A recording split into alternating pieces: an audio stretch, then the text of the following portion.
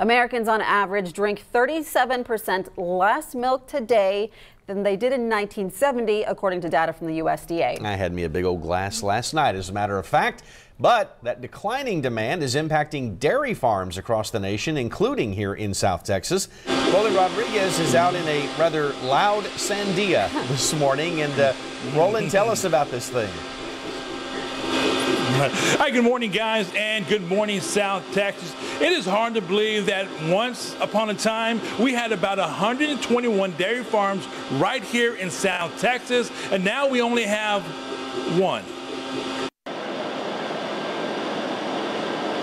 Family owned dairy farms across the country, like the Knolle Dairy Farm, are struggling to survive as milk prices have fallen in the last few years due to an abundance of supply on the market which the pricing set by the Federal Milk Market Administrators. And so the government gets involved and they're trying to ensure that people get paid a minimum price and then the co-ops adhere to that and kind of take all those revenues and kind of spread them out, pull the cost, pull the expenses, and pull the profits, and it just doesn't really work out better for the smaller producers. The dairy industry has been shifting towards larger corporate farms over the last 15 years.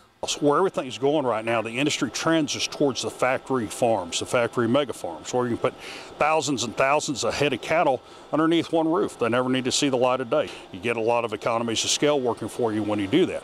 What can be done to help the local dairy farmers? Some want a quota system to prevent massive corporate farms from producing so much milk it hurts family farms.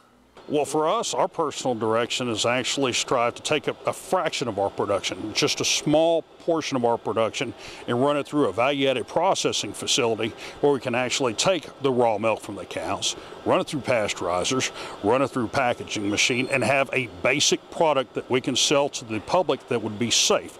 Joe Knolle Jr. and his wife Christina bought the Knolle Dairy Farm that was established in 1928 in Sandia, Texas, six years ago from his family. Under the aspirations of trying to keep it going for the the next generation and the last generation. Uh, with the farm starting in 1928, our goal is to get to the 100 year mark. And what makes the Knolle Dairy Farm so unique? It is pasture based. Mike.